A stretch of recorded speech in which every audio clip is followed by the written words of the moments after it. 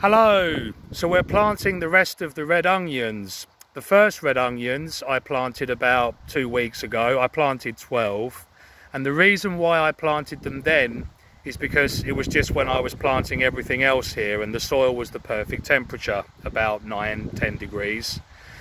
Um, but then my wife said don't plant all of them because she sticks to this uh, moon calendar and the theory is is that after there's been a full moon and the moon starts to get smaller it draws down the roots into the soil because the magnetic effect of the moon becomes less and less so it's going to be an interesting experiment and we're going to wait and see if these onions that now I'm just about to put into the soil are going to catch up with the other ones.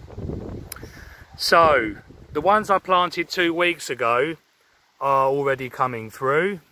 There's one there and one over there. These are our garlics in the rest of the bed and I planted those in the autumn. So when the next autumn comes, I'm going to make a video about how to plant garlic in the autumn. But back to our red, red onions. I've already pre-made the holes in the soil in rows of four. And I've spaced them out by using this shovel that's about 22 centimetres long. So I've just used this and then used my finger to make a hole and then like this and then I've gone round the other side and made a hole. So all you're doing is making sure your onion is root side down, so the side where the roots are coming out. It's normally the wider part of the onion, the base of the onion, that's going to be facing down and this pointed part of the onion is facing up and that's where the shoot of your onion will eventually pop through the soil.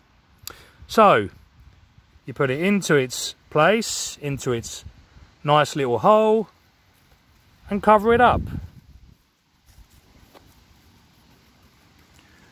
And then it will be on to the next one. Now, I will quickly give you one tip when you're planting onions because some people complain, oh, our onions were really small. And it's not just necessarily to do with um, the nutrition of the soil. Sometimes, like I came across this last hole, can you believe it or not? I tried to make my last hole for my onion and the soil's really tight. And if the soil's, soil's really tight and compact, of course the onion's not going to be able to spread out easily and grow. So with a shovel, just loosen it up. If you do get a piece of soil that's a bit too compact, that's nice. Just level it out with your hand. And then for this last hole, I don't really need my shovel. I can see where this hole is and this hole is. And then make your hole in the soil. And now the soil is nice and loose and it will grow. That's about it for now. I hope you've all had a lovely day. Enjoy the summer and take care.